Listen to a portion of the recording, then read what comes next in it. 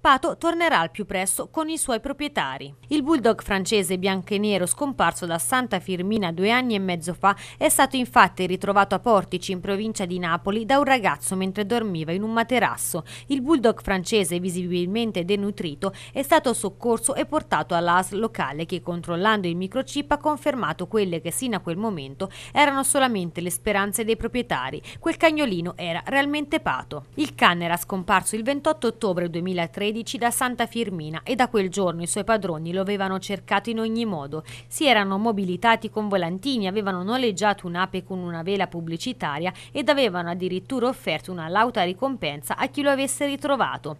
Le ricerche del cagnolino erano poi passate anche tramite social network e il gruppo di Facebook Aiutiamo Pato a tornare a casa conta infatti più di 7.000 iscritti provenienti da tutta Italia che in questi anni non si sono mai fermati e rassegnati. Ed adesso il migliore epilogo per questa storia. I proprietari potranno al più presto riabbracciare Pato, sono infatti già in viaggio verso Napoli per riportare a casa il loro cagnolino.